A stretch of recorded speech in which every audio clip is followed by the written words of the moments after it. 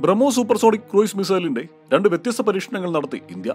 പരീക്ഷണങ്ങൾ വിജയകരമായിരുന്നുവെന്ന് ഇന്ത്യൻ നാവികസേനയും വ്യോമസേനയും സ്ഥിരീകരിച്ചു. I N S ഡൽഹിയിൽ നിന്ന് നാവികസേന മിസൈലിന്റെ കപ്പൽവേദ പതിപ്പ് പരീക്ഷിച്ചപ്പോൾ വ്യോമസേന S U thirty M K യുദ്ധവിമാനത്തിൽ നിന്നാണ് എയർ ലോഞ്ച് വേരിയന്റ് പരീക്ഷിച്ചത്. ഐ എൻ എസ് ഡൽഹിയിലെ ഗൈഡഡ് മിസൈൽ ഡിസ്ട്രോയറുകളിൽ നവീകരിച്ച മോഡുലാർ ലോഞ്ചർ ഉപയോഗിച്ചാണ് മിസൈലിന്റെ ആന്റിഷിപ്പ് വേരിയന്റിന്റെ പരീക്ഷണം നടത്തിയത്.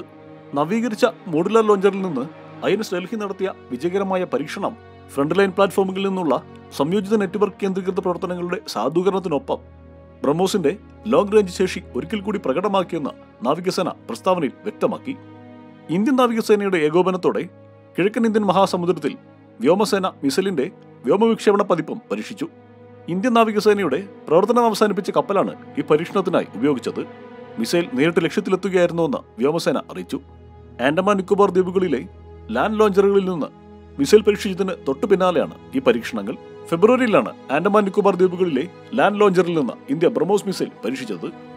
കരയിൽ നിന്നുള്ള കപ്പൽവേദ മിസൈൽ സംവിധാനത്തിനായി ഫിലിപ്പീൻസ് ബ്രഹ്മോസ് എയറോസ്പേസ് ലിമിറ്റഡുമായി മുന്നൂറ്റി എഴുപത്തഞ്ച് മില്യൺ ഡോളറിന്റെ കരാർ ഒപ്പിട്ട സമയത്താണ് ഈ പരീക്ഷണങ്ങൾ. വിയറ്റ്നാം ചിലി എന്നീ രാജ്യങ്ങളും ബ്രഹ്മോസ് വാങ്ങാൻ താല്പര്യപ്പെട്ടിട്ടുണ്ടെന്നാണ് വിവരം. അതിനു പുറമെ ഖത്തർ യു സൗദി അറേബ്യ ഉൾപ്പെടെയുള്ള ഗൾഫ് മേഖലകളിൽ നിന്ന് ബ്രഹ്മോസിൽ താല്പര്യം പ്രകടിപ്പിച്ചതായി ഫിനാൻഷ്യൽ എക്സ്പ്രസ് റിപ്പോർട്ട് ചെയ്യുന്നു. ഇതിന്റെ തുടർ ചർച്ചകൾ കോവിഡ് പ്രതിസന്ധിയിൽ താൽക്കാലികമായി നിർത്തിയിരിക്കുകയാണെങ്കിലും ഉടൻ ആരംഭിക്കാൻ സാധ്യതയുണ്ട്. അതേസമയം ബ്രഹ്മോസിന്റെ പുതിയ നൂതന പതിപ്പിന് താല്പര്യം അറിയിച്ച് തായ്ലൻഡ് ഇന്തോനേഷ്യ വിയറ്റ്നാം എന്നിവ ഉൾപ്പെടെ നിരവധി രാജ്യങ്ങൾ മുന്നോട്ട് വന്നിട്ടുണ്ട്.